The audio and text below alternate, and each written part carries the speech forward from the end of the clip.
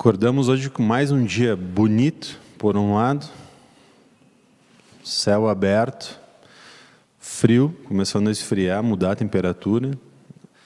E, no entanto, por outro lado, muito preocupante, porque novamente estamos se encaminhando, já estamos vivendo uma nova estiagem aqui na região. E como já foi dito, já disse isso em outras ocasiões aqui, já comentei sobre isso.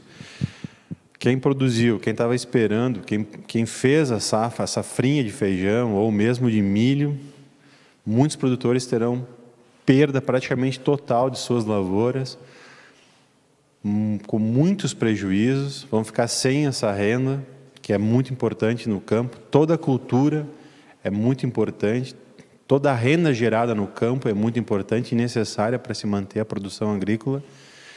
E a gente está vendo aí que não chove, praticamente mais de um mês que não chove aqui na região, com algumas localidades esparsas.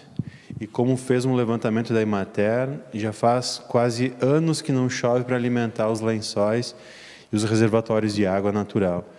Então, é um, eu diria que para quem está lá no campo enfrentando isso e o produtor ele acaba ficando, ele vai, eu não diria que se acostuma com isso, mas é que não há opção, não há o que fazer quando se trata do clima e do tempo. É simplesmente baixar a cabeça, virar a página e tocar e amargar aquela, aquele prejuízo que ele vai tomar. E a proporção não, a falta de chuva, a proporção, ela não se dá somente na, na plantação, na cultura de grãos ou plantas, mas também já começa a afetar, em algumas localidades, o abastecimento de água para produção animal, para frango, para porco. E isso tem um impacto violento em toda a economia dos municípios e da região, infelizmente. E aí a gente fica de mãos atadas.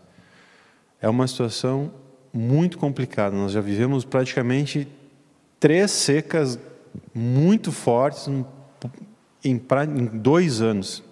E nem no espaço de dois anos gente, os produtores tiveram que enfrentar três estiagens muito grandes. Realmente é um problema muito grande o que está acontecendo aí com a agricultura. Temos exemplos, sim, de produtores que conseguiram implantar, em algumas localidades, conseguiram implantar uh, irrigação, e aí sem a chuva, tendo irrigação, mas são pequenas propriedades, pequenas iniciativas, onde existe a disponibilidade de água, de reservar a água, e aí sim faz lá um investimento, irriga uma parte da sua produção, e aí sim tu vê explodir a produtividade, como foi um caso um produtor aí de viadutos que irrigou uma pequena área de uma área de milho e produziu três vezes mais do que a média da safra 2021 do que toda a média do município. Mas são casos isolados e para ter essa tecnologia hoje no campo também não é barato e depende de água e a água está em falta no momento aqui na região do Uruguai. E se não fosse, para finalizar, se não fosse, é sempre bom lembrar, se não fosse a transposição do Rio do Cravo, Erechim como um todo, a cidade de Erechim, estaria passando problemas sérios e gravíssimos de abastecimento de, de água.